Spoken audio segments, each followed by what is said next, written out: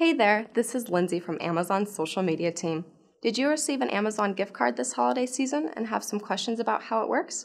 Perhaps you already have a gift card on your account but aren't quite sure how to check the balance. Well, you're in luck. Amazon has special resources built specifically to answer these types of questions. To access these resources, click on Your Account at the top right hand corner of any Amazon webpage.